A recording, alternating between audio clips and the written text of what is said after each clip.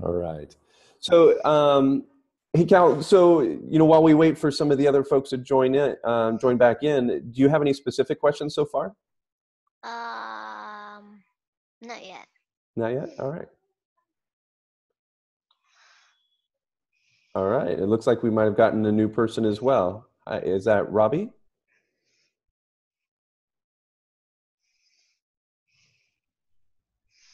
All right, we've got Natalia back and Gary. Mm-hmm. All right, and Jack. So um, maybe we'll get John. Up oh, there's John. Oh, we lost Robbie. Okay, well, hopefully he'll rejoin. All right. So welcome back, everybody. So, um, Jack, I, you know, I didn't want to cut you off. So, by all means, if uh, if there was anything else that you wanted to to cover, we can certainly do that. Actually, as we went off, there was one more thing Okay. that was a lot of fun, and I'm still working on. Is this elbow joint here? It has this cam built in. So it's let me see if, if you there's this little piece here that you can move.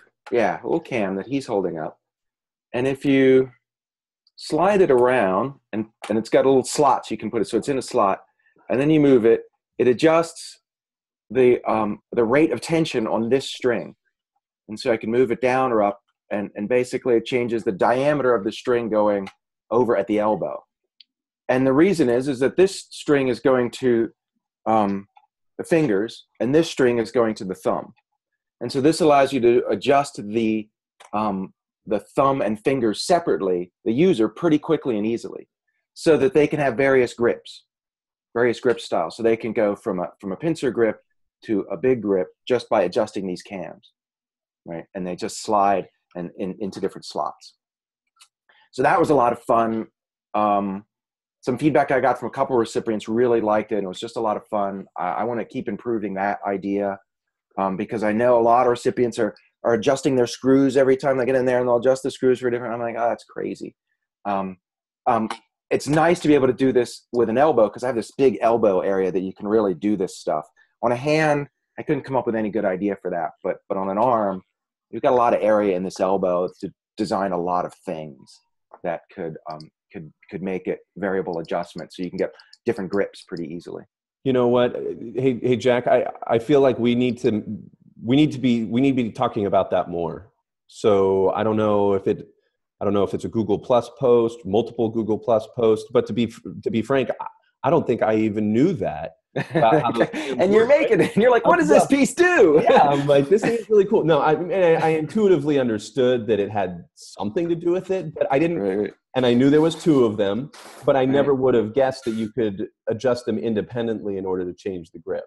Right. So, um, you know that's almost maybe even worth on the thingiverse page you know i know that you were having some was it you yeah you were having some issues even commenting on it but yeah, I can't even comment on my own design on Thingiverse. Yeah. I i mean there's some way for you to like highlight maybe in the first three lines like you know Right, right. hands for grip adjustment you know the the 3d printed bolts instead of having to buy them i think that's Right, huge right. as well and then the uh, the multiple segments so that regardless of the size of your printer because that's always been a limitation oftentimes Right, even with the unlimited you know when that Right. came out that was one of the first things that people started asking is how do i print this in you know on a small printer Right, right, right.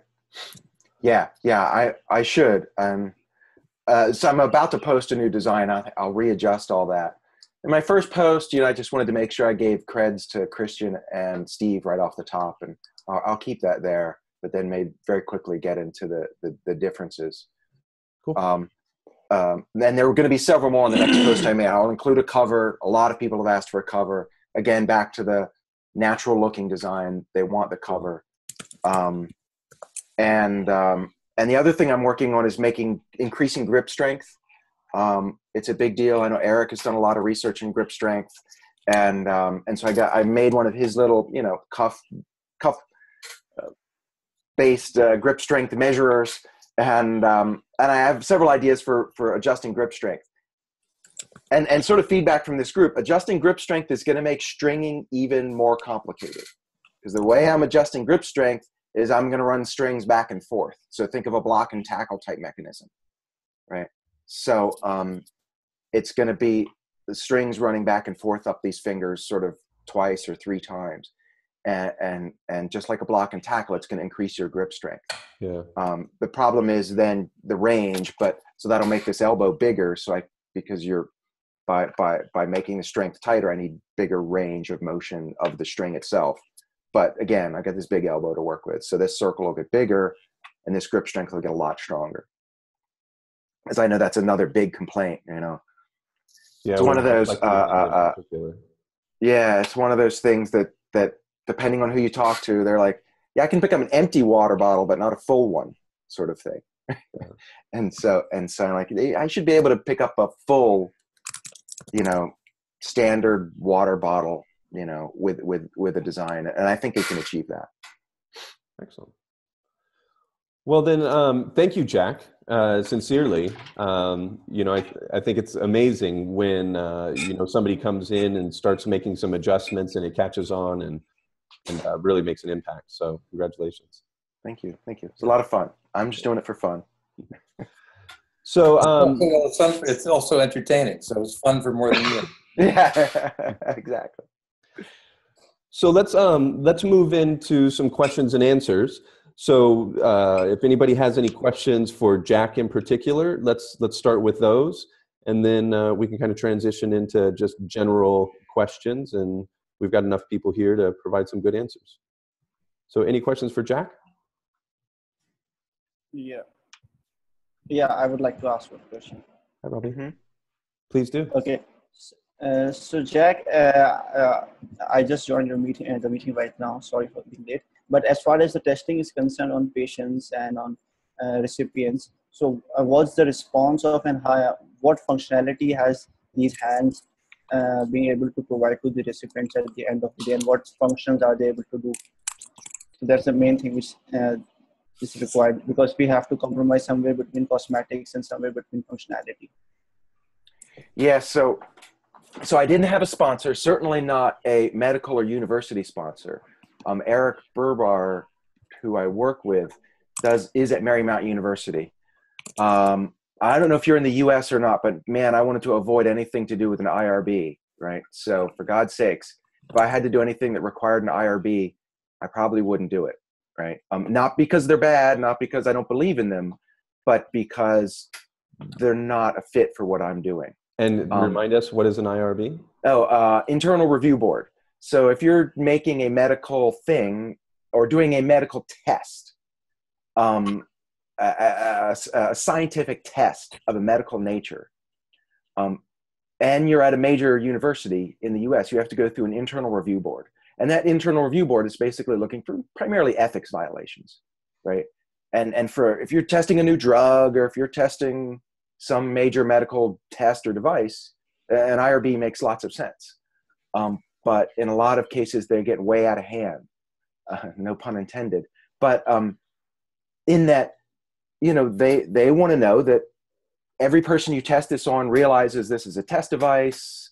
Um, you're not making any promises. Yada yada yada. Um, they need to review all that paperwork that you're signing, they're signing, you're signing, and so it gets really complicated really fast. And and you know, if you're doing a drug or or something uh, I think it's a great idea. Um, and and I think if I were to do a, a true university based test on one of these devices, it would be required at a university. And um, I, I just didn't want to mess with it. But if somebody else if somebody else wanted to mess with it at a university, you know, I, I, um, and and I only throw Eric Berber under the bus because I know him and he's at a university. If he wanted to do it, I would say fine. I'll help you. I'll support you. You deal with the IRB and I'll make the designs and, and, and however you want them. Um, So Uh, to, to Robbie's question, have have you did you do any informal testing or or uh, recipient testing to kind of get a sense of the functionality that delivers? so all of it was done remotely. So I could not find a recipient, an adult recipient local to me for this arm. Right. So it was all done remotely um, with other recipients um, and other um, prosthesicists, right? Feedback from other people who make prostheses and what they wanted. And then talking with people um, online in um, the developing world and saying, what do you need? What does the what does the design not have for you? What what what features do you need modified in this design?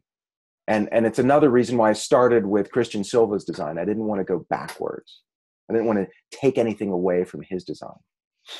So, can you review with us who you were collaborating with remotely and how did you take?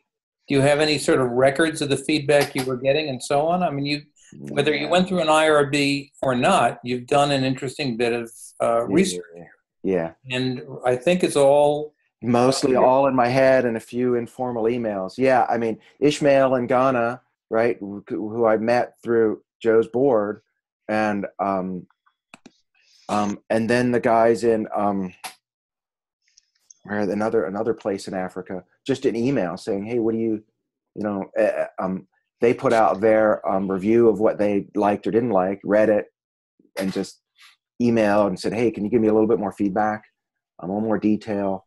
Um, all of it was of that type.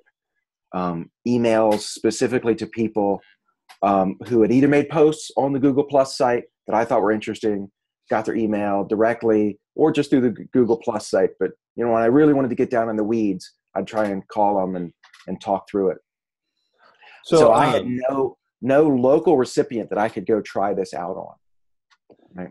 Right. Yeah. So, R- Robbie, I don't know. Did you was your question specific to this device, or do you, was your question sort of general in terms of what functionality we a recipient can expect Yeah, from these? Or devices? did you just want a list of the added functionality that, that, that I came up with for this design? yeah. Basically, the first thing is uh, the functionality because uh, so I am in Pakistan over here right now. So uh, we have been dealing with patients uh, by the end of the day. So uh, because we know these 3D printed prosthetics are not primarily for cosmetic use.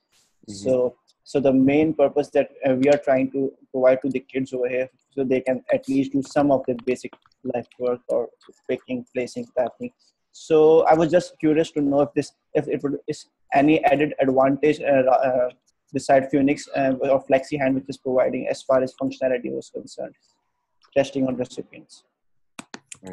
Yeah, I mean, probably not from like a a day to day perspective. I mean, Robbie, I think you and I were talking over email, and you're looking for like hardcore functionality, right? The ability to to to do things like real things with this. Yeah. And um, I I mean, I I think that it's it's it, it's no maybe no more or less functional than the Phoenix hand.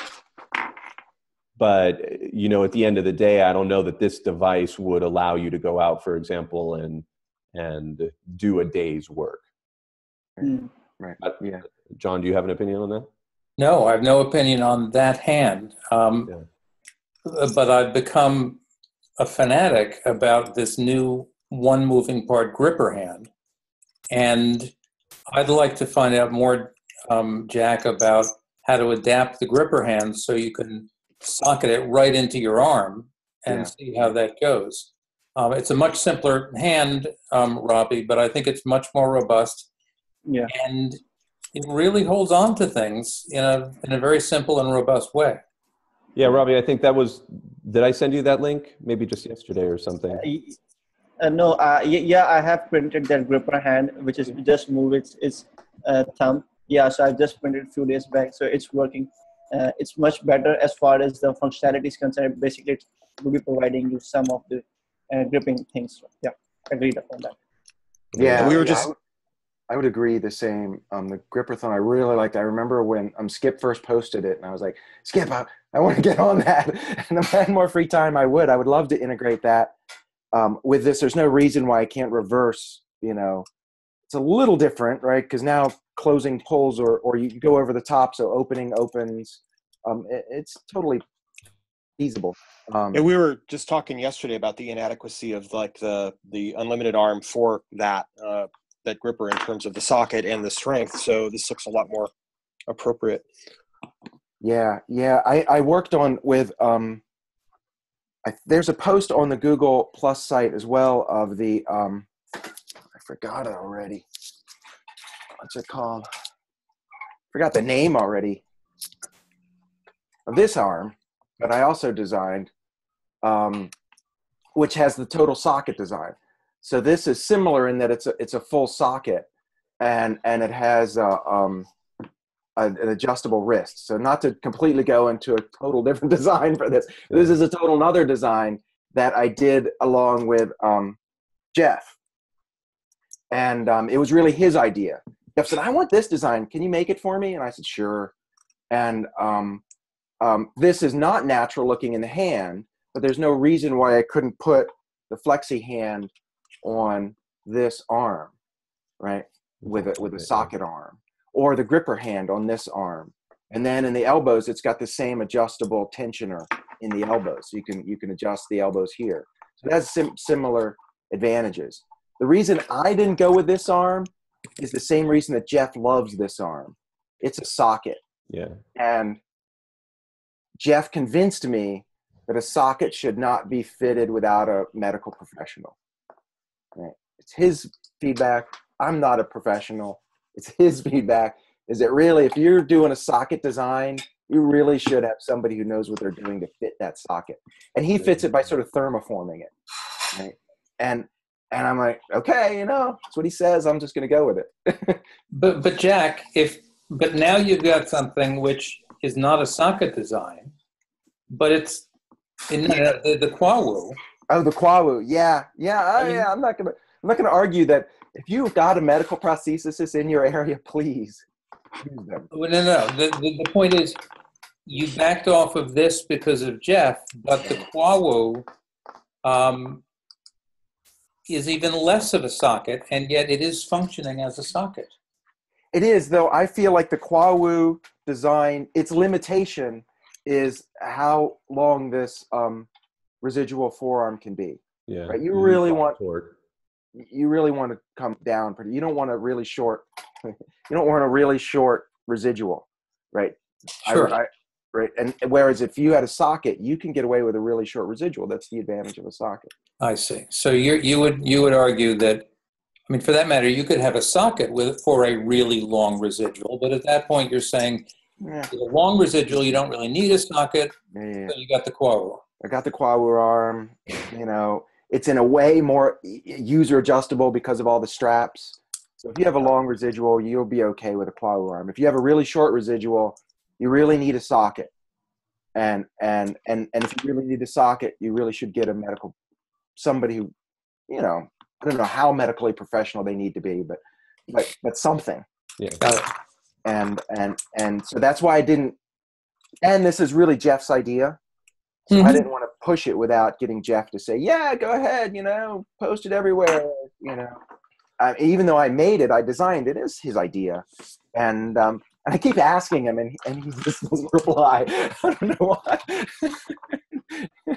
I think it's one of those he just doesn't have time. So on, he's on to the next project I understand.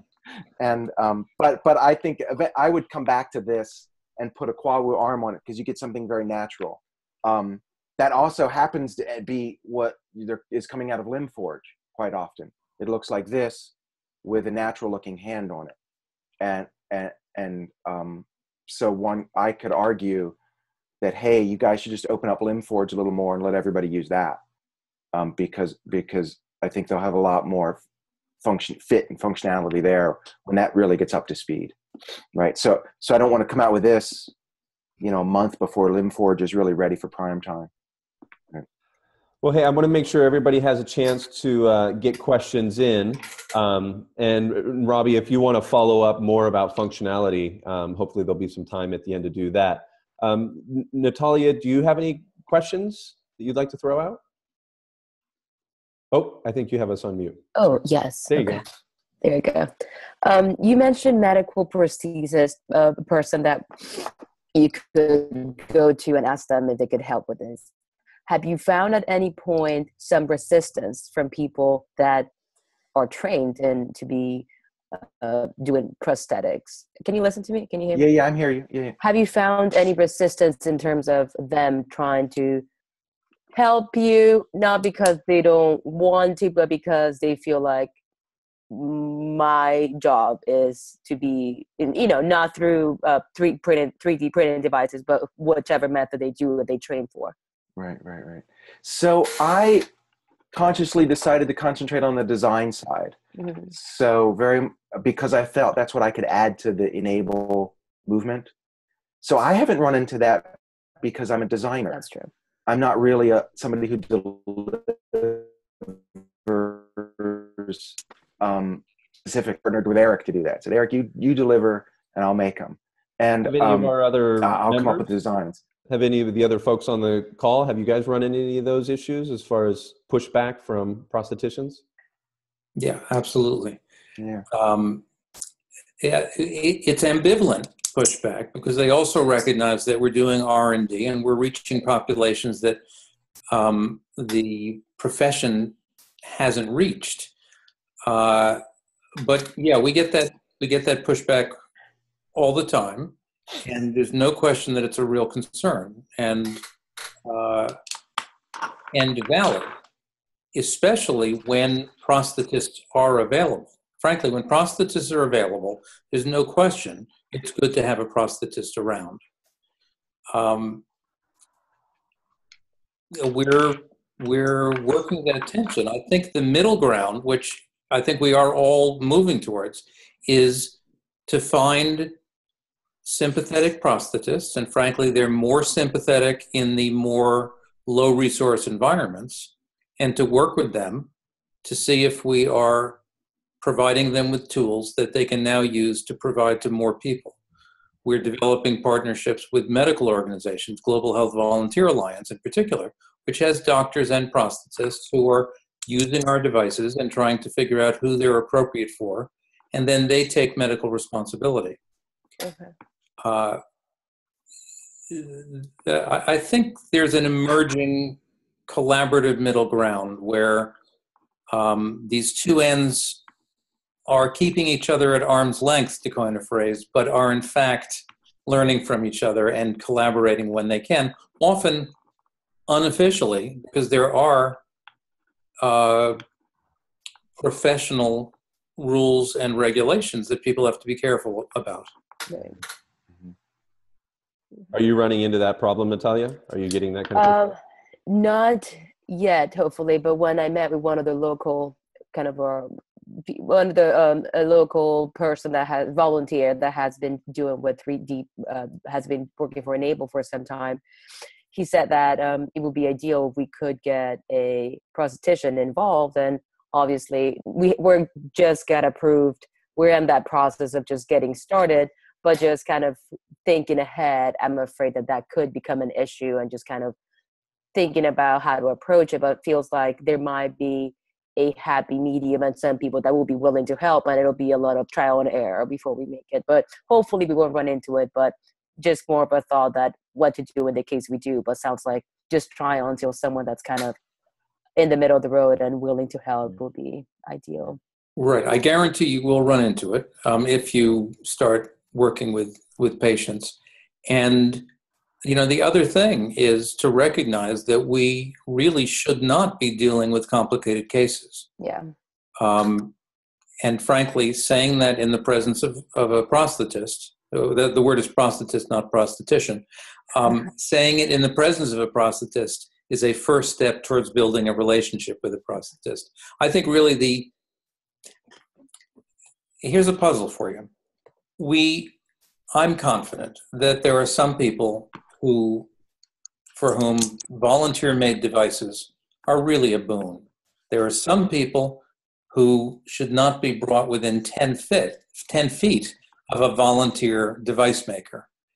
Um, the challenge, which is not quite resolved, is how do you sort those two categories? Right. Because if we could identify the ones that would benefit from what we do and be care and have a good system for avoiding the ones who could potentially be harmed by what we do, Mhm. then it gets much easier. We haven't quite figured that one out yet. If our operators are waiting for your call. yeah, I mean, just talking with a fair number of pros, prosthesis, prosthesis, um, Prosthetists. prosthetists. Um, I get the same sort of feedback, right? Because I I'll try and call and go, hey, what you know, what do you do? What would you like? What would you, you know? So, not from a delivery point of view, but what you know, what would you like? And and some of them are very recipient, particularly if I would deliver through them, right? Because I don't want to deliver. It's just I'm an engineer. Then they're like, oh, well, that's awesome. but that's a small majority. I mean, Jeff is one of the very few, I think, who are really willing to, to do that.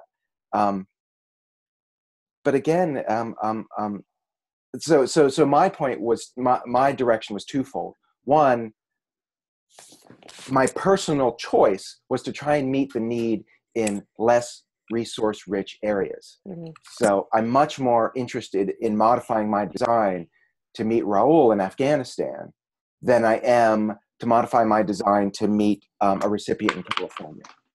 Not that I don't like the guy in California, or not that I have anything against him, but you got a lot of volunteers in California. You know, have at it. Make a great design. Modify my design. If you want to modify my design, it's all open source. Have at it. Um, but but but I think the greater need is for me to make a design that will fulfill um, uh, somebody who doesn't have a prosthesis prosthetics anywhere near them. Right? There's just no chance of them getting one. Right. Giving some basic guidelines of the, uh, along the lines of what John said. You know, my, my first guideline is the further you get up the arm, the more likely you really should get somebody else. That's your yeah. my basic guideline. Yeah. And then outside of that, it's well, you know, what does it look like? Does it look really lots of hot spots, lots of whatever? You should get somebody else. You know, get somebody involved. Simple guidelines like that can really help, and I try and include those just right in the build instructions. Right, I'm not going to build as a design. I don't think you know. Don't quote me on this. That's shoulder driven. I might. How Jeff called up and said, "Hey, I got this shoulder-driven design. Can you try?" I probably would, but but um, but I don't know that I would put it sort of on the public enable group because they really are, you know, the further you get up the arm, the more likely you should get somebody uh, else involved, some with real medical experience involved. You do raise one other point. Um, I, I'm working towards a collaboration with the VA hospital in uh, in Tampa, mm-hmm. and uh, and I, you know they said basically the prosthetist assumes liability. But the flip side of that is that if the prosthetist thinks that it's safe and appropriate, they are free to use devices no matter where they came from. Yes, yeah, that is my understanding too. Yeah, so that's why Jeff is comfortable to use something I send him because right, he, he tries to jump on it, and if it still works, then he says, "Okay, I'll get behind this." Yeah, it's his call. It's it's his, and that's something to keep in mind. Um, though I don't do deliveries per se, as long as you're giving it away for free, you're not charging anybody for it. Right. You know, don't worry, you'll be fine. Right. well, uh, as long as you're giving it, yeah, yeah. I, I, I, won't go to "Don't worry, you'll be fine." Yeah, and, and you're really trying hard. Yeah, well, that's right. right. Nobody knows, but it is yeah. the case. Yeah. Uh, and this is this is this is almost legal and almost important. Yeah. Um, if it's upper limb, if it's body powered, not motorized, all of you, you know, geeks working. There are a lot more ifs. um, and if you're giving it away for free. And you do yeah. a good job. What's that? You have to do a good job. If you really, if you really make a terrible device intentionally, you could be held liable for that.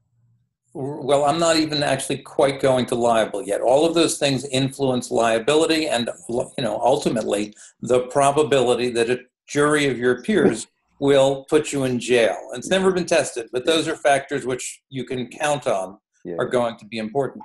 But um, almost legally, what I was going to say, almost specifically, FDA has said that as long as it's body powered, not charged for, uh, and upper limb, not lower limb, mm-hmm. they have defined a discretionary category where there are no regulatory requirements. It's all fuzzy, you can all change, but that's sort of this current state of understanding in the United States. Yeah, yeah. As far as I know, I'm not a lawyer. well, thanks, John. That's actually that's the best explanation I've heard for it because I think that we get that we do get that question a lot in terms of um, you know where it starts to cross a line. So those guidelines I think are very helpful for everybody, no matter which country you're operating in. Thank you. Um, just a real quick time check. I apologize, but my timer came back on, so we're we're at ten minutes or maybe even nine minutes and counting, something like that. Um, and again, I just want to make sure everybody has a chance to to ask any questions they might have. Um, Cal, oh, he just took off his his headset. Hey, Cal. I, I do have to jump off. Sorry, I'm going to say goodbye to everybody. Oh, it's okay. Gary. I have to go. Thanks- so uh, thanks, thanks, everybody, and we'll talk next time. Oh, Bye. I have to jump off too. All right. Well, Cal, did you have any questions before you go? No. All right. Well, glad you made it. Bye. Come back, come back next time, Cal. We want to hear what you're doing too. I want to. I want to see with a hand that you made next time. Where's, Show it. oh, I have a finger. Hey, nice one. Are those flexi joints? These look like flexi joints to me. Look at that. See, he knows his 3D printing. I still haven't been able to get those printed. Nice job, Cal. Bye. Um, all right, I, I have somebody on my screen here um, with the name Brother Robot, uh, and I haven't heard from him yet. Would Would they like to unmute and uh, introduce themselves and ask any questions? It's totally okay to be silent. That's fine as well. Okay, um, Ryan. So thanks for joining. Long time no talk, huh? Like Hi. less than twenty four hours. Yeah. Um, so did you have any questions so far, Ryan? Um, well, actually, I'm working with um, this group of farmers here in um, well, not here, but uh, in Sacramento. Um, a few of them have lost either multiple fingers on on um on their hands, and I've been looking into, I guess, replacements.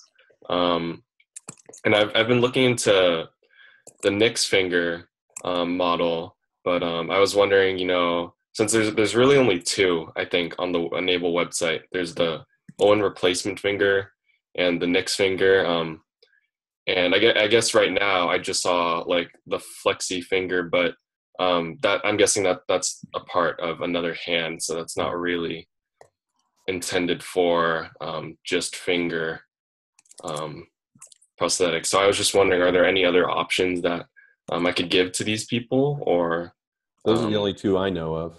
only two? Okay. Yeah. Yeah, I haven't tried any of those out either. Um, I, there, there were some ideas I stole from the Nick finger that I liked. That I modified the hinges in the Kwawu a little bit um, based Mhm. on what he had done. Yeah, that was a pretty clever design. Yeah. Okay. All right. Well, I'm, I was just wondering, um, and I, I guess another um, question um, isn't really to do with um, design, but more like um, outreach. I'm having trouble finding um, somebody here in California. I know there's a lot of people in California that can help me.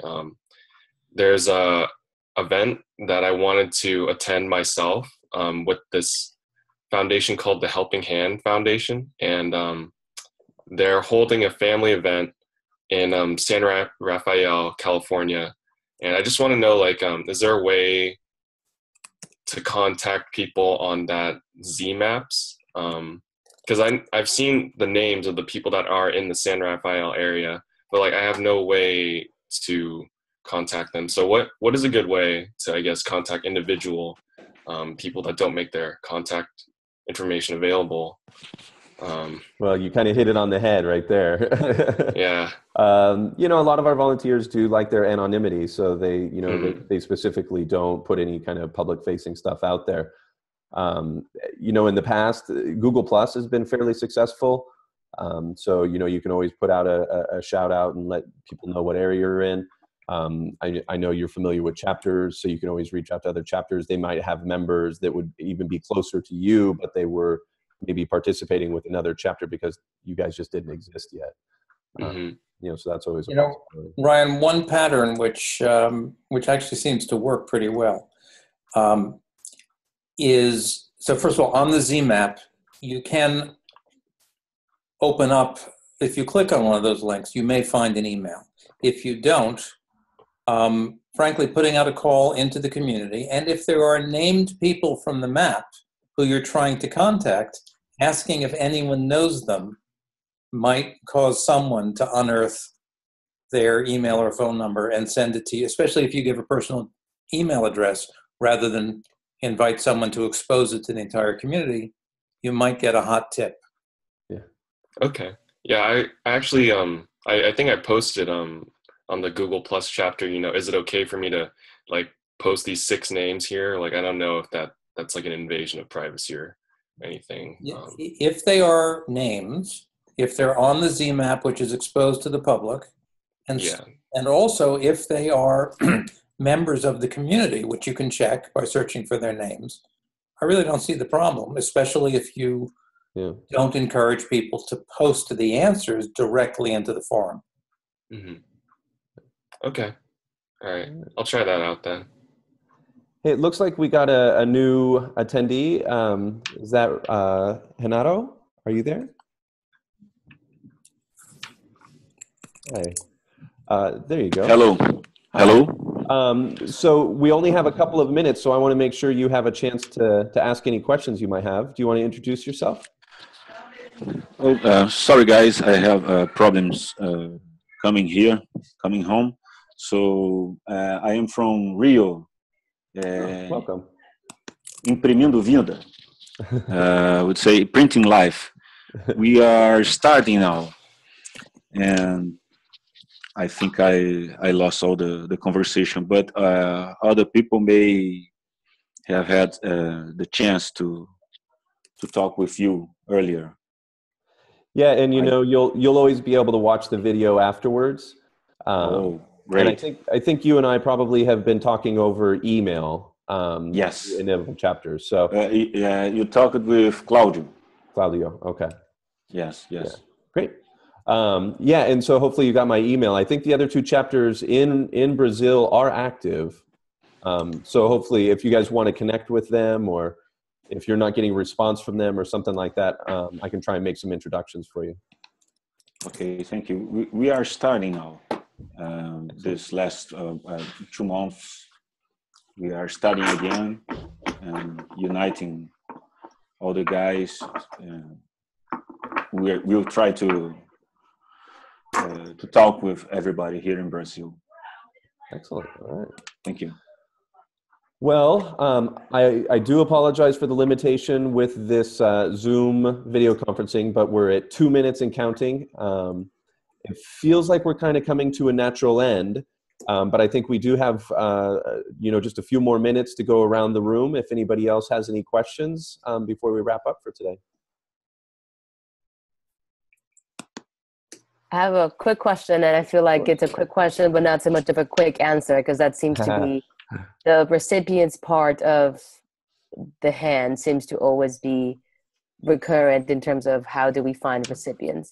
I went on the on the public waiting list, and it seems that I was kind of didn't quite understand that it said that um, only um, essentially only pick from this people if you have printed one in the past, um, and that kind of makes me i don't know if maybe i'm just doing it wrong but if that is the case i just wasn't sure how to approach finding new recipients through the e-NABLE public list if it is um, if you're starting new and i see that we have very little time so i don't i can probably just email you or um, Well, i don't want to If, if you don't mind, Natalia, I would like to just use, say, 45 seconds to address that. yeah Um, I think there's two things here, and then I'll hand it off to John. Um, the first thing, though, that I would say is you're right. It, it, it's it's probably a little bit unfair. Um, I kind of put that guidance up there on that wait list because I I wanted to make sure that people had enough experience that it, they were going to be able to do it remotely and not have too many false starts. Yeah. So you know, if you feel confident, then by all means, you know, let's talk, and you can take one of the recipients that's that's up there, if there even is one up there. Okay. But the second part of that is that that public wait list is soon going to be going away um, and to be replaced by a very robust matching system, which will allow a lot more flexibility, hopefully have a lot more recipients, um, some challenging cases not so challenging. So Okay. we might even be as close as a month away on that's having great. that up and available. And that's really going to be our golden opportunity to find recipients and, and really find matches that way. So stay Awesome. tuned. We'll definitely keep talking about that here in this. John, you might have only 30 seconds, but anything you want to add to that? Yeah, there will also be an influx of um, overseas potential recipients. okay. So practice, skills, keep in touch. Sounds